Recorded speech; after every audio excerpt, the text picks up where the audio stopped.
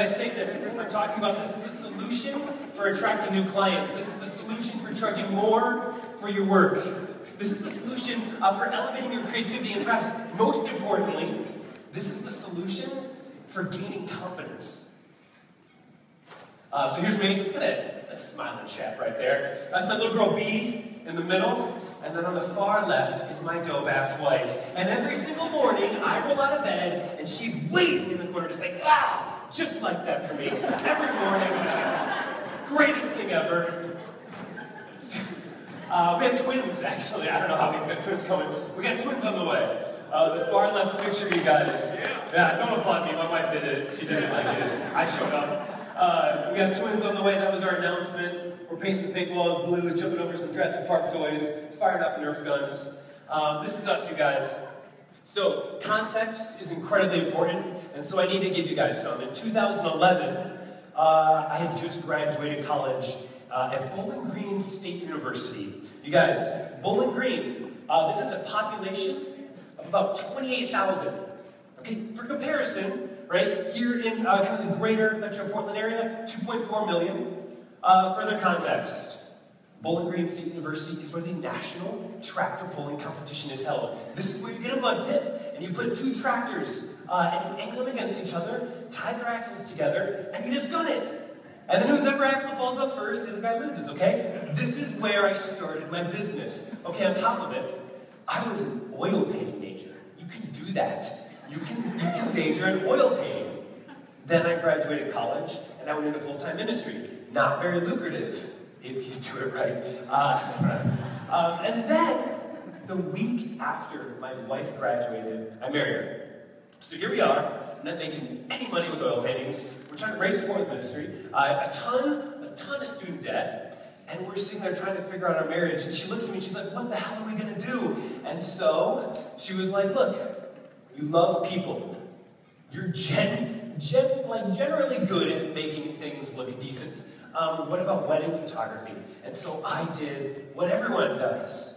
I identified that there's this like great photographer in the area, and I reached out to them to pick their brain, to ask a few questions about the industry. Now this is really important, you guys, because uh, I reached out to this photographer that I looked up to. And now, I've attended, I attended Mystic last year. I've attended so many amazing workshops, mentorships, uh, listened to all the podcasts, read the books, all this stuff, right? And to this day, you guys, to this day, the words that he told me have been the most inspiring words. They've incredibly, like, they've shaped me. I'm on the stage today because of these words, and I want you to read them. I want you to see what's up. He said this. He said, Ben, don't do it. You're only going to bring the industry down. Nice try, asshole. Right? Here I am. Here I am, motherfucker. Right? I hustled. I put my ass off. I thrashed, you guys. I tested, I learned. I tested, I learned. Right? I built something. I built something. 2012. You guys, to understand this, again, I'm only showing you this because you need to understand the context to, to get a full grasp of what happened afterwards. In 2012, I was still working a full-time job. I was like hustling on the side, trying to make this wedding photography work like so many of us are. All right? And so I had 200 inquiries, shot 28 weddings, $1,800 average. Eh, okay. 2013 hits, 321 inquiries, 40 weddings, $4,500 average, getting somewhere now. 2014, 632 inquiries, uh, 52 weddings, 7,000 average. All right. And then, and then I strayed the course. You guys, over this period of time, I told you I was going to give you guys a blueprint, right? Uh, over this course of time, I was testing and I was learning and I was testing and I was learning and I was creating a blueprint, right? And the blueprint at this point said turn right and I turned left. I made some wrong choices. Now here's the thing, please pay attention to this because the choices that I was making in 2014, 2015, it wasn't like I was intentionally moving in the opposite direction. It wasn't like a dark place. It felt eerily like familiar, right? And it wasn't until it wasn't until I got bitch slapped by an empty calendar that I realized things have gone horribly wrong. Something has gone horribly wrong. How many of you out there are listening and you're feeling that same sore right cheek, right, with maybe an empty calendar? Or maybe you need to charge more money, you need more clients in the door. Maybe you just need to spend more time with your, with your kids, or your wife, or your husband, right? If that's you, then listen up. Let's do this. I need some water, man.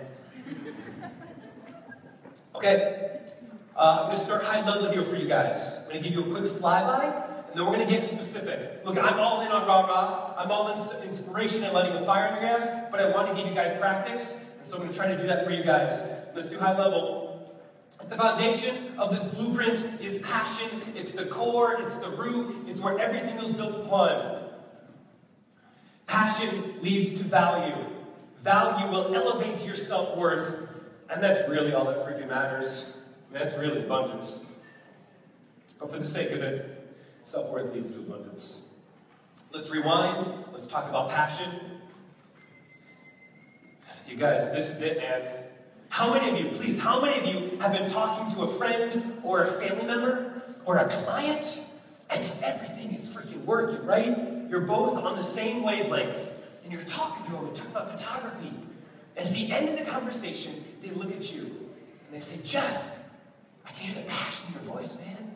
Or they say, they say, Jeff, I can just I can just hear how passionate you are about what you do. You guys, when I hear those words from a client, I know I am as good as booked.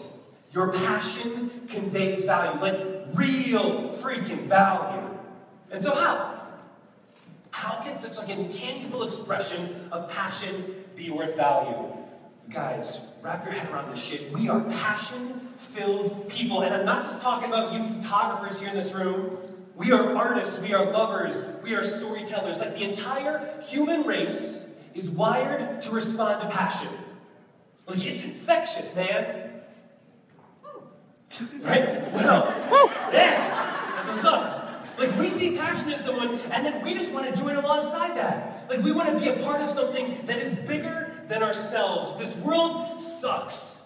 We want to be a part of something that is bigger than me, right? We see passion in someone's heart, like vibrating over here, and then my fucking heart just starts to vibrate. Like something starts to awaken in me, right? You guys, your passion is your product. Whatever you are passionate about